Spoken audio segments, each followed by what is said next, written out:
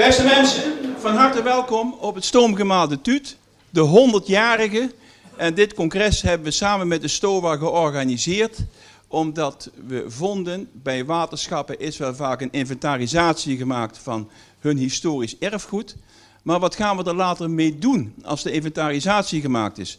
Blijven die rapporten onder in de la liggen of of nemen we ze mee bij de ontwikkelingen van het water? Net zo goed als dat we andere zaken ook soms integraal meenemen. Het erfgoed is van de waterschappen en de waterschappen moeten er ook een stuk voor zorgen.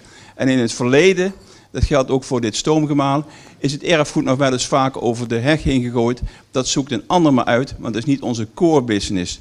Het is wel de core business van het waterschap, want ze praten altijd over, wij zijn de oudste en de rijkste instituten in Nederland. Dan moet je ook voor je erfgoed willen zorgen. We hebben een programma, dat wil ik even toelichten. En we hebben een scala aan sprekers die uh, zich ingezet hebben om deze dag, hoop ik, te doen slagen. En om de motivatie van jullie als aanwezigen, om dat ook even mee te geven natuurlijk. Dat we zeggen van, uh, en we hebben nog een klein cadeautje op het eind van de dag. Hè, en dat is nog een leuke herinnering om die thuis op kantoor op te hangen en je collega's eraan te herinneren dat erfgoed ook belangrijk is. Uh, nou, het is vanzelfsprekend natuurlijk, dat ga ik niet meer zitten herhalen, maar dat is leesbaar natuurlijk. Ik ga nu even verder met het verhaal van waarom is deze plek uniek? En uh, moet ik even een ander ding pakken. Het stoomgemaal de Tuut is een van de 750 stoomgemalen die ooit gebouwd zijn in Nederland voor de waterbeheersing. Negen van die stoomgemalen zijn er nog gebleven, waaronder Medemblik, Boudagemaal, Mastenbroek en uh, Nijkerk. En uh, de Tuut is het enigste gemaal van de 75 stoomgemalen die gebouwd zijn in de diverse rivierpolders voor de waterbeheersing bij hoog rivierwater in Rijn en Maas. Dit is de enigste van die 75 die is blijven staan natuurlijk. Het is 100 jaar oud, 35 jaar is aan een restauratie gewerkt. Er zit ongeveer 1 miljoen euro aan subsidie in, van Europees geld, monumentenzorg, gemeente, provincie en sponsors. En de vrijwilligers hebben in die afgelopen 34 jaar daar ongeveer 70.000 geregistreerde manuren in geïnvesteerd. Toen we de schoorsteen gebouwd hadden, toen ben ik begonnen met een globale ureninventarisatie of registratie. Om aan te geven wat is eh, de functie geweest van die vrijwilligers in de totale restauratie van dit complex. En dat moet je ook een keer eh, tot waarde, tot uitdrukking weten te brengen. Dat het gemaal er nog staat is eigenlijk eh, te danken aan dat de oud-ijzerprijs na 1967 kennelijk op een dieptepunt zat. En het toenmalige polderdistrict heeft stad en land afgelopen, samen met de gemeente Appeltern, wat toen nog de eigenaar was van deze gemeente, om het gemaal gesloopt te krijgen voor de oud-ijzerprijs. En dat is ze dat helaas niet gelukt en daarmee is het blijven staan. Het industriële erfgoed kwam vanuit Engeland in de begin jaren 80 overwaaien. En toen werden de laatste tien stoomgemalen met een installatie, die werden al ras op de monumentenlijst gezet. En daarmee was een sloop eigenlijk niet meer vanzelfsprekend. Uh, het waterschap zegt, ja, wij zijn niet van de monumenten, het toenmalige polderdistrict dan, hè, dat is inmiddels al op, lang opgegaan in Rivierenland. En toen is er een stichting Baat en Borg opgericht en die zou het even gaan regelen. De mensen van Badenborg wisten niet dat ze 34 jaar nodig hadden om het te restaureren van wat het nu is natuurlijk. Maar de aanhouder wint en daar gaat het uiteindelijk om. En we kijken heel tevreden terug naar het proces van de restauratie. Waarom is deze plek uniek? We zitten in het Maasmeanderlandschap en uh, er zijn vele pareltjes staan hier. We hebben ook nog dijkhuisjes in dit gebied. We hebben ook nog sluizen. Dus de sluizen zijn door het waterschap gerestaureerd. Dijkgraaf Gerrit Kok, die inmiddels helaas overleden is, die zei toen we met de restauratie een heel eind gevorderd waren, kunnen we als waterschap nog iets voor jullie doen? Ik zei, nou restaureer die sluizen maar. Dat is goed, zegt hij. En daar ging hij mee aan de haal natuurlijk. Ik heb het projectplan geschreven, want er zat Europees geld in natuurlijk. En niemand wist hoe dat zijn projectplan in elkaar zat. Ik had er bij de Maaskant al verschillende keren met dat bijltje gehakt natuurlijk. Dus ik schreef op vrijdagmiddag het projectplan. En maandags werd het in de commissie als een hamerslag behandeld. Dus er was drie ton subsidie. Het waterschap gooide er drie ton bij. En vervolgens konden we voor zes ton de sluizen restaureren. Dit is nog een stuk geschiedenis van waterbeheersing. Een enorm gebied van Maas en Waal. Op deze sluis stonden drie stoomgemalen van drie verschillende polders. Hoe kun je het bestuurlijk georganiseerd krijgen natuurlijk. Dit is nog een restant van een ruïnegemaal. Dat staat er al jaren zo bij. Eindelijk hoort dit complex zoals het er nu bij staat compleet op de monumentenlijst gezet te worden. En dat moet zo blijven. Conservering van de ruïne. Aan deze sluis zit 650 jaar waterschapsgeschiedenis. Ruzie tussen de beneden en de bovenliggende dorpspolders. Het water loopt van Nijmegen naar beneden. Er zit een paar meter verschil in natuurlijk. En dit complex is, ziet er nog aardig uit, maar verdient niet verder verwaarloosd te worden. Dan hebben we eh, langs de rivierdijk een hele bende eh, dijkhuisjes natuurlijk, van verschillende soorten. Die zijn ook in verschillende tijden gebouwd. Als ze gebouwd moesten worden, dan was er toch ook nog even weer eh, aandacht voor details. Dat zie je dan hier met, met, die, uh, met die omlijsting natuurlijk. Uh, het waterschap Rivierenland heeft bij de dijkverzwaring, zijn al die huisjes wel blijven staan. De stichting Batenborg heeft in de jaren 80 zich hard gemaakt om toen de eerste golven van dijkverzwaring voorzichtig gingen starten, om die dingen toch in het landschap te bewaren. Inmiddels staan ze allemaal op de monumentenlijst natuurlijk. En het zijn eigenlijk leuke folies in het landschap als je als fietsende daar langskomt. Er zitten natuurlijk verschillende bestemmingen op. Een magazijntje, een educatief centrum, een, eh, een hoe heet dat, een galerie. Er zit een kunstenaar in, dus regelmatig staan ook deuren open, waardoor mensen kennis kunnen nemen van die oude magazijntjes die vroeger werden gebruikt om met kruiwagen en paard en wagen de dijk te verzwaren en die het heel kritiek was. En de provincie die gaf een inventarislijst uit waaraan het moest voldoen. Want die moest natuurlijk ook het gereedschap in huis hebben om met de kruiwagen de dijk te verzwaren waar het nodig was. Hier zie je nog andere dijkhuisjes van architectuur. Het zijn eigenlijk gewoon leuke dingen, folies in het landschap. Maar ze hebben allemaal nog een, secundaire functie. Ik ben het waterschap Rivierenland ook dankbaar dat ze deze gebouwen nog steeds onderhouden. En dat ze niet verdwenen zijn in de hoogst van de dijkverzwaring. Zeker toen voor 1995 eindelijk eerst alles weg moest en daarna gingen we de dijk verzwaren. De commissie Bourtien heeft na 1995 daar anders tegenaan gekeken. Ik heb mijn verhaal verteld over het water. We zijn hier op het industrieel erfgoed. Alle facetten van het industrieel erfgoed zijn aanwezig. Je komt wel eens een lege fabriekshal tegen. Dan is de inventaris eruit. En als de inventaris eruit is, dan hebben we nog de leuke doos. Hier hebben we de doos met het interieur. En het interieur wat nog regelmatig in bedrijf is. We hebben bij ons 100-jarig bestaan met de commissaris van de Koning en de bestuurders van Waterschap Rivierenland hier het, uh, bewezen dat we 440 kub water over de dijk kunnen pompen. We hebben de automatisering uitgezet in overleg met de gemalenbeheerders, want dat mag niet zomaar. Dus we hebben de hoofdschakelaar omgedraaid, we hebben een vracht kolen gehaald en we hebben het van de situatie nog weer eens bediend, waterpompen op de Maas met handwerk. Wij zijn eventueel een calamiteitengemaal. Dat woord mag ik nog steeds niet zeggen, maar er zou nog eens over nagedacht kunnen worden. Stel dat de stroom langdurig uitvalt dan kunnen we altijd nog, we halen een vrachtwagen kolen in Rotterdam en dan kunnen we een paar dagen stoken. Als calamiteiten Of je huurt een hele bende aggregaten in van machines waar allemaal weer dieselolie in moet. De keuze is aan de bestuurders van het waterschap Rivierenland. Ik heb verteld over deze plek, dat het eindelijk wel leuk is hier. Ik geloof dat ik daar genoeg over gezegd heb. Joep van der Brink geef ik een het woord nu over, over Johan Dirk van de Kapelle, want we hebben hier nog een plek naast de tuut die steeds meer belangstelling krijgt uit beduimelde boekjes. Wordt steeds meer duidelijk wat Johan Dirk van de Kapelle hier heeft betekend. Joep, aan jou het woord. Dankjewel Jan. Uh, goedemorgen, mijn naam is uh, Joep van der Brink. Ik ben uh, vrijwilliger hier bij de TUT. En anders dan u naar mijn verhaal misschien zult denken, ben ik gewoon een technicus, dus ik kan ook nog op een eerlijke manier mijn brood verdienen.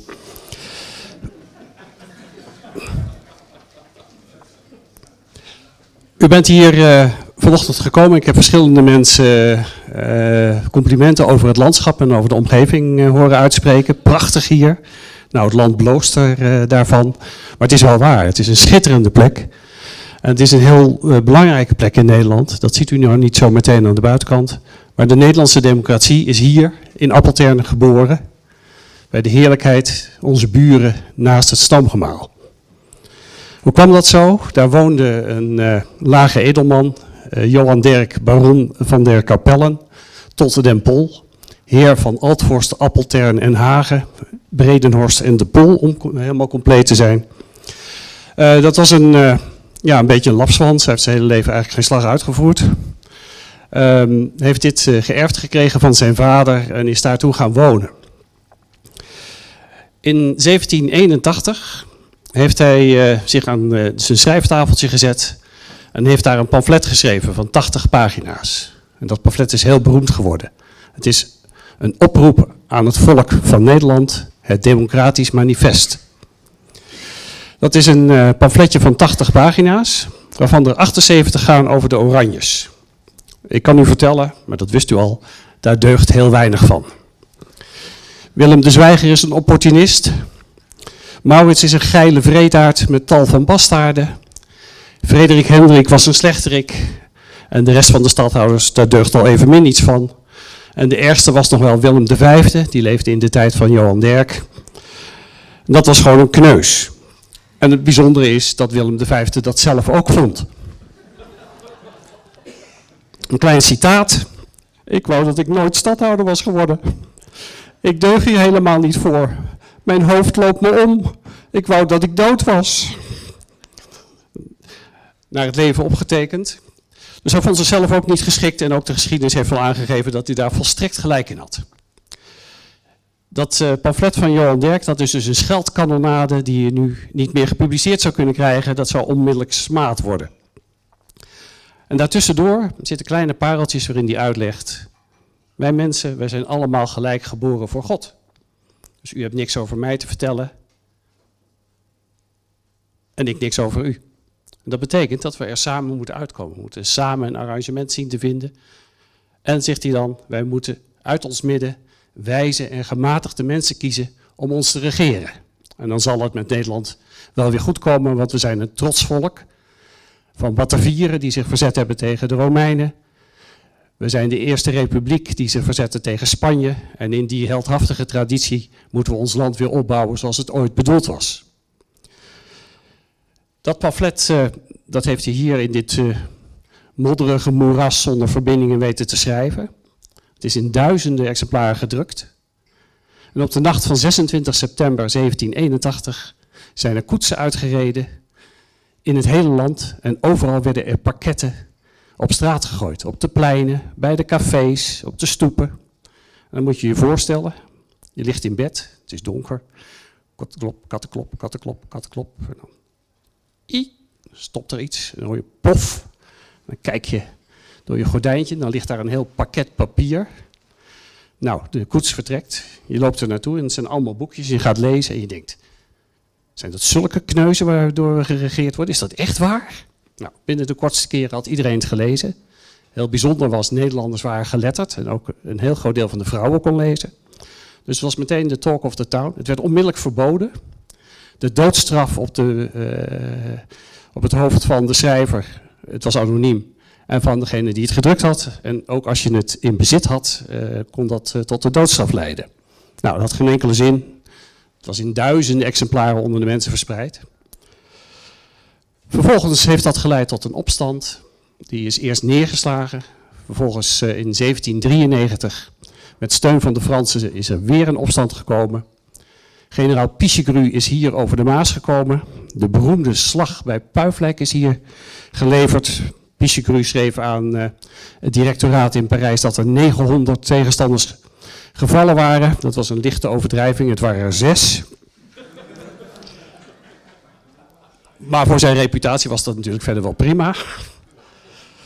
Het resultaat was er overigens wel naar, want uh, de Oranje legers en uh, met name de Engelsen die hen steunden, sloegen op de vlucht en, en de Pruisen naar Duitsland. En Amsterdam sloot zich aan bij de opstand. En toen kregen wij de Bataafse Republiek. En zegt u niet de Franse tijd, want dan neig ik tot zinvol geweld. Het was een Nederlandse republiek, een Nederlandse regering. En wij waren het derde land ter wereld dat een democratische grondwet had.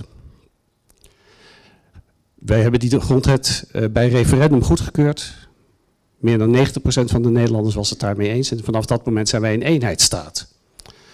En die staat die ging heel hard aan het werk. In een paar jaar tijd is modern Nederland in elkaar getimmerd. We hebben daar prachtige instituties aan te danken. De Belastingdienst, zou ik met name willen noemen. Het ministerie van Financiën. De instellingen waar we nog dagelijks plezier van hebben. Maar het allereerste wat de Bataafse Republiek deed, was het oprichten van de dienst voor de waterstaat. Het huidige Rijkswaterstaat. En dat was een briljante zet, die zich zijn waarde tot op de dag van vandaag bewijst.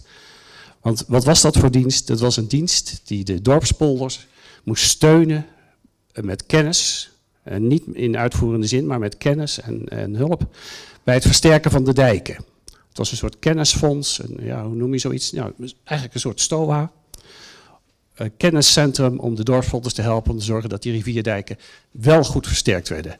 En niet met takkenbossen, bagger en paardenmest, zoals daarvoor gebruikelijk was. Die uh, Democratische Republiek die heeft een uh, achttiental jaren bestaan. Uh, toen op een ongelegen moment zijn de Oranjes teruggekomen op het strand bij Scheveningen, is de grondwet weer afgeschaft. Veertig jaar later, met enige chantage, is Willem II bewogen tot de constitutionele monarchie en heeft Thorbecke de draad van onze oorspronkelijke grondwet weer opgepikt. En dat hele verhaal, dat is dus hier in dit bescheiden dorpje, heel, in een modderig parkje, is dat begonnen. En uh, wij vinden dit uh, verhaal zo belangrijk, ook voor de waterstaat, want het is niet toevallig dat hij, hier, dat, hij dat hier geschreven heeft. Hij zijn vader was ambtsman en hij moest met zijn vader mee in stormachtige nacht als de dijk bedreigd werd Mensen hadden hier dijkplicht, moesten dan komen met paard en wagen, mest scheppen en planken. En hij heeft de noden van de mensen gezien. En we weten dat hij vanuit die sociale bewogenheid is gaan nadenken over een betere staatsinrichting in Nederland. Dus ligt een directe lijn tussen het ontstaan van de democratie in Nederland en het waterschapsbeheer.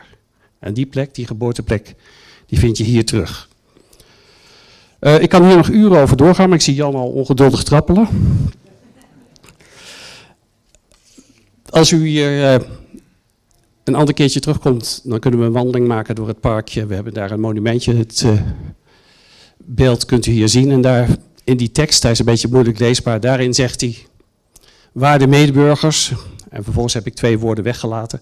Wapent u allen, maar dat wordt nu licht misverstaan. Komt tezamen en kiest uit uw midden wijze en verstandige mensen. En Jehovah de God die de Israëlieten uit Egypte geleid heeft, zal ook ons helpen. Zo'n godvrezend man. Uh, en dit is de laatste zin uit het Democratisch Manifest. Als u het wil lezen, ik kan het u zeer aanraden, want het is zeer amusant. Uh, het is prima leesbaar. U kunt het overal op internet vinden.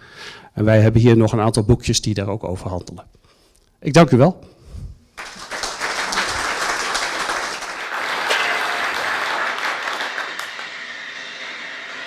Dankjewel Joep. Uh, waarom is deze plek uniek? Dat was de vraag van uh, Guido Ik hoop dat we dat nader uitgelegd hebben waarom dat deze plek uniek is. Hè?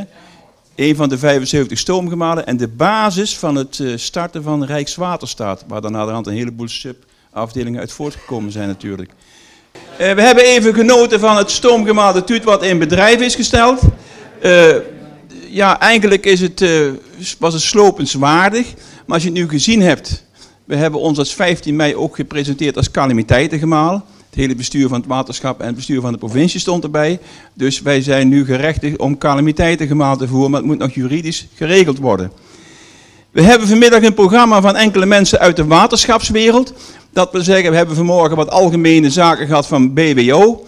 En we gaan nu verder met de rol van de waterschappen en voorbeelden van waterschappen. En mevrouw Akke de Vries, die heeft voor als erfgoed, vanuit erfgoedvereniging Heemschut een notitie gemaakt. Hoe zouden waterschappen om moeten gaan met hun erfgoed? En de erfgoedvereniging Heemschut die wil daar bij de waterschappen ook wat aandacht voor vragen. Dat het niet in de vergetelheid komt. We zitten van twee kanten. We zitten hier vanuit de STOA. En wij zitten hier tegen het erfgoed aan te duwen. En straks komt er ook nog een secundair verhaal van de erfgoedvereniging Heemschut. Wanneer het zich aandient. Ik heb hier een sluis, die is gerestaureerd, dus inundatiesluis van Hedikhuizen. Ik heb bij de Maaskant en bij A en Maas gewerkt. Uh, inunderen van de Zuid-Hollandse waterlinie doen we niet meer. Deze sluis heeft een kapitaal gekost aan restauratie. En we hebben hem meegenomen in een toeristische route en als stapsteen tussen twee ecologische hoogstructuren. En daarmee heeft die sluis een secundaire, maar toch weer een functie gekregen. Want zo'n kapitaalbouwwerk, wat stond te verpieteren, moet na een restauratie ook beleefbaar worden. Wat vanmorgen al een keer eerder gezegd is. Klik nog maar een keer door. Hier hebben we de schuiven van de Bossensloot. Dat waren vroeger schuiven voor de uitwatering van de Bossensloot op het afleidingskanaal, het zogenaamd Drongeleskanaal. Door de ruilverkaveling is de hele waterhuishouding omgekeerd. Deze sluizen hebben nu alleen nog een functie bij hoogwater, enkele weken of enkele maanden per jaar, waarin ze nog als waterkering worden gebruikt. Met mijn collega Ad Hartjes die hier is, hebben we de hele zaak uit elkaar gehaald, het ijzerwerk gerepareerd, geconserveerd. En het is een van de twee Stony-schuiven, gebouwd rond 1900, die nog in Nederland aanwezig zijn. Maar ze zitten in een toeristische fietsroute en bij hoogwater dienen ze nog een aantal weken per jaar als waterkering. Volgende dia. Dit zijn de schuiven van de bovenlandse sloot. Ja? Dit is ook nog een Stony-schuivenstelsel, een zeer ingewikkelde schuif. Dat is nog steeds in functie. Bij de restauratie hebben we geprobeerd om de oude schuiven en de hefmasten allemaal nog weer een plekje te geven. Want het makkelijkste was de hele zaak eraf snijden met de snijbrander en gooi het maar in de container en dan maken we wel een moderne schuif. Dus dit is allemaal weer aangepast aan de nieuwe eisen van waterkering in de verhoogde dijk die nodig was, maar waarbij ook dit schuivenstelsel aangepast moest worden. Volgende. In de, peel, de peelontginning heeft ook een aantal karakteristieke stuwtjes gegeven. Men noemde dat de zogenaamde Anton Pieck stuwen natuurlijk. Hè. Uh, het ziet er ook uit als Anton Pieck. Ja, ze waren bijna verrot. En we wilden daar van alles mee doen. Ik heb eh, alles tegengehouden toen. Ik weet niet wat de stand van zaken nu is, Ad. Nee, ze bestaan nog steeds. Oké. Okay. Dus het zijn eigenlijk monumentjes geworden. Kleine monumentjes in het landschap die je al fietsend en wandelend tegenkomt. Ik haal hier enkele voorbeelden aan van mijn werktijd bij Waterschap de Maaskant en A en Maas. Er is altijd, als er een wil is, is een weg, zei vanmorgen de dijkgraaf van Rijnland. Dus hier was een wil en dan is er ook een weg gevonden. Maar de weg is wel eens krom. Maar de aanhouder wint.